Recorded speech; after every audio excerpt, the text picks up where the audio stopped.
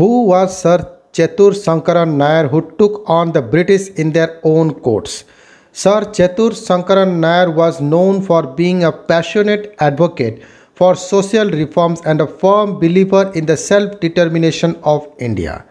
Filmmaker Karan Johar recently announced his decision to produce the biopic of Sir Chettur Sankaran Nair, an acclaimed lawyer and judge in the Madras High Court and one of the early builders of the Indian National Congress who had also served as its president in 1897. Nair was known for being a passionate advocate for social reforms and a firm believer in the self-determination of India. But what really stood out in his long, glorious career is a courtroom battle he fought against Lieutenant Governor of Punjab Michael O'Dwyer. Nair had accused O'Dwyer in his book Gandhi and Anarchy for presided over for being responsible for the atrocities at the Jallianwala Bagh massacre. Consequently, he was fighting against an Englishman in an English court that was presided over by English jury. In all senses, the case was bound to make history. Johar announced that his film will unravel the legendary courtroom battle that Nair fought. The film is adapted from the book The Case That Shook the Empire, written by Nair's great grandson Raghu Palat and his wife Pushpa Palat in 2019 the rebellious lawyer. Nair was born in the year 1857 in Mankara village of Malabar's Palakkad district. He belonged to an aristocratic family and his great grandfather was employed by the East India Company to enforce peace in the Malabar region. His grandfather was employed as the chief officer under the civilian division officer. Nair was drawn towards law while he was completing his graduation from Presidency College in Madras. After completing his degree in law, he was hired by Sir Horatio Shephard who was later became the Chief Justice of the Madras High Court. Since his early days as a lawyer, Nair was known for his defiant attitude. Raghu and Pushpa in their book noted an instance when he went against a resolution passed by Indian Vakils advocates of Madras stating that no Indian Vakil would work as a junior to an English barrister. Nair firmly opposed this resolution on the principle that no lawyer should be denied the right to choose a senior that has that his client liked. His stance on the issue made him so unpopular that he was boycotted by other Vakils but he refused to let that bother him.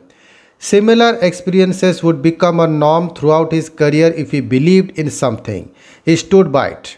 Whatever be the opposition he faced, while the 1908 Montagu-Chelmsford reforms were being discussed, he wrote an article in the Contemporary Review criticizing the English jury for being partial towards Englishmen. This infuriated the Anglo-Indian community who petitioned the Viceroy and the Secretary of State for India objecting his appointment as High Court judge for the first time. He was similar he was equally despised by the Brahmins in Madras. Though not once a president of the Congress, Nair took a lukewarm interest initially in the organization it as it was dominated by the Brahmins and he found his position not agreeable. Wrote Raghu and Pushpa. Consequently, when he was nominated to the Madras Executive Council, the Brahmin community in Madras wrote to the Viceroy asking him not to appoint him since he was anti-Brahmin. Nair's fearless, brusque and outspoken nature also made him extremely unpopular popular among his colleagues and peers. He was once described by Edwin Montagu, the Secretary of State for India, as an impossible person. He shouts at the top of his voice and refuses to listen to anything when one argues, and is absolutely uncompromising. He is known to have said, as cited in Raghu and Pushpa's book. Despite his many critics, Nair's presence as a lawyer and social reformer in Madras was formidable. In 1897, he became the youngest president of the INC in the history of the party till then, and only Malayali to hold the post ever. By 1908, he was appointed as a permanent judge in the Madras High Court. In 1908, Lord Curzon appointed him a member of the Raleigh University Commission. In 1904, he was appointed as companion of the Indian Empire by the King Emperor and in 1912 he was knighted. In 1915, he became part of the Viceroy's Council but in charge of education portfolio. As a Madras High Court judge, his best known judgment clearly indicate his commitment to social reform. In Bursana versus Fatima 1914, he passed a racial judgment where when he ruled that those who converted to Hinduism cannot be treated as outcasts. In few other cases, he upheld intercaste and interreligious marriages. As a fervent freedom fighter, he firmly believed in India's right for self government. In 1919, he played an important role in the expansion of provisions in the Montagu Chelmsford reforms, which introduced a system of diarchy in the provinces and increased participation of Indians in the administration. In Nair's biography written by his son in law, the eminent diplomat and the first foreign secretary of India, KPS Menon, the latter noted that the measure in 1919's reforms were far more liberal than what was originally proposed by the government in 1916. The credit for this Menon wrote lay largely with Nair and his uncompromising stance as part of Viceroy's Executive Council. And when the massacre of Jallianwala Bagh happened, he thought nothing about resigning from the Viceroy's Council in protest. Nair's resignation shook the British government. In the immediate aftermath, press censorship in Punjab was lifted and martial law terminated. Further, a committee was set up under Lord William Hunter to examine the disturbance in Punjab. It was during this same period that Nair wrote Gandhi and Anarchy, which was published in 1922. In the book, Nair spelled out his critique of Gandhi's methods, especially those of non-violence, civil disobedience, and non-cooperation. He believed that any of these movements was destined to lead to riots and bloodshed. In the same book, he also accused O'Dwyer for his coercive methods that led to the death of hundreds of innocent men and women at Jallianwala Bagh. Therefore, O'Dwyer sued for Nair for defamation in England with the expectation that an English court would side with him.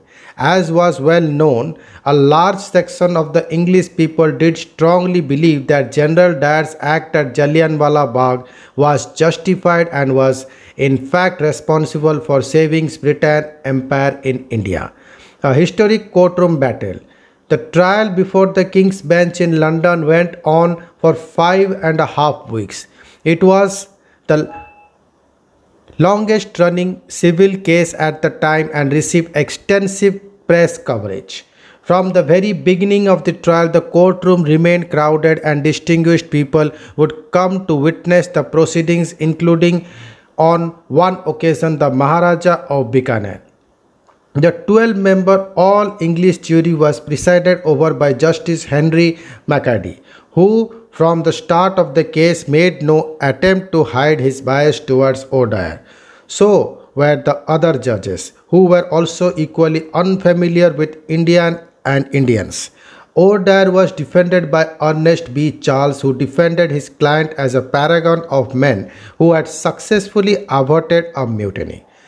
Charles words were clearly meant to kindle the empathy of the English jury for their own people. He exaggerated the perils the English bore to protect the empire. Indians, of course, were portrayed as rebels, extremists, and seditionists, wrote Raghu and Pushpa.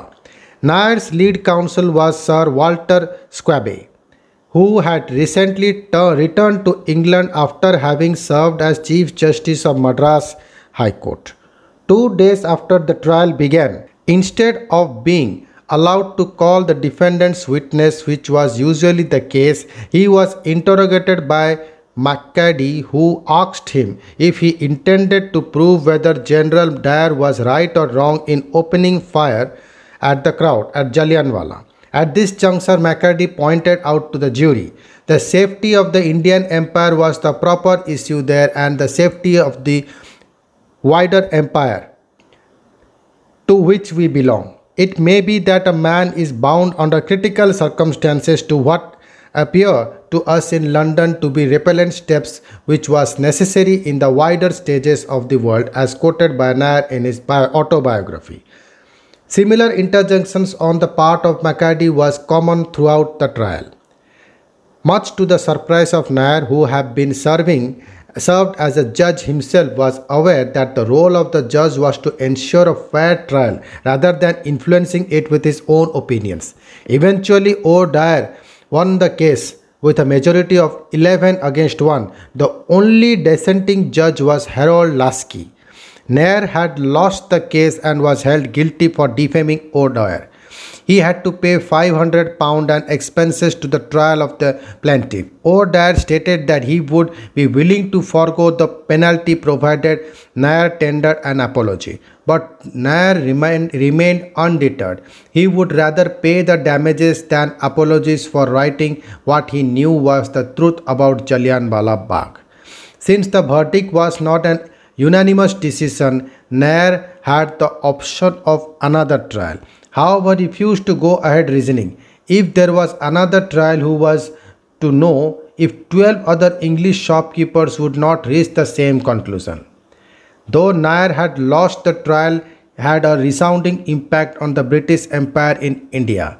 At a time when the nationalist movement was gaining momentum, Indians saw in the judgment a clear bias of the British government and an effort to shield those who committed atrocities against their own people. The verdict was momentous in, in that it strengthened the determination of the nationalists to fight for self-government. Nair passed away in 1934 at the age of 77. His legacy was carried uh, forward by his large family of nine children and grandchildren, most of whom were celebrated names in their own fields. His eldest daughter was K. Parvati Amal, who later became Lady Madhavan Nair upon marrying eminent lawyer and judge of the Privy Council Sir Madhavan Nair. Her name and also those of the children had been given to several streets in Chennai. Nair's son R.M. Palat was also a lawyer and politician belonging to the Justice Party. His grandson Kuthiram Palat Candeth was a senior army officer who played a commanding role in the liberation of Goa and Portuguese control in 1961. Nair's nephew VMM Nair is currently the oldest surviving Indian civil servant. Thank you.